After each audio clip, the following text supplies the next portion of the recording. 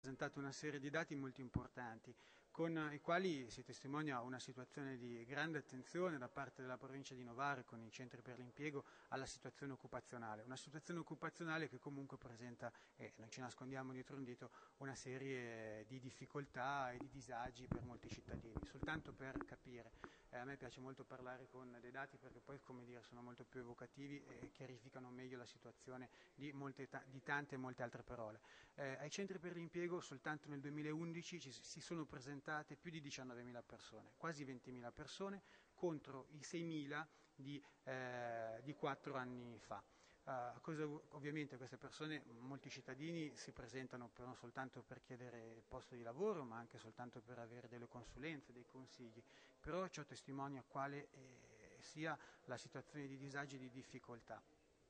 Nostri, chiaramente i nostri uffici sono molto attivi, eh, c'è una grande disponibilità anche in termini eh, di, di, persone e chiaramente anche di disposizione nei confronti di chi cerca lavoro. Però i numeri sono impressionanti. Un altro numero su cui è giusto riflettere è che eh, sono quasi 11.000 le persone o in cassa integrazione eh, o in mobilità e molte di queste, soprattutto la cassa integrazione in deroga, vedranno appunto finire il loro periodo di sostegno nel, nel 30 giugno del 2012. Su,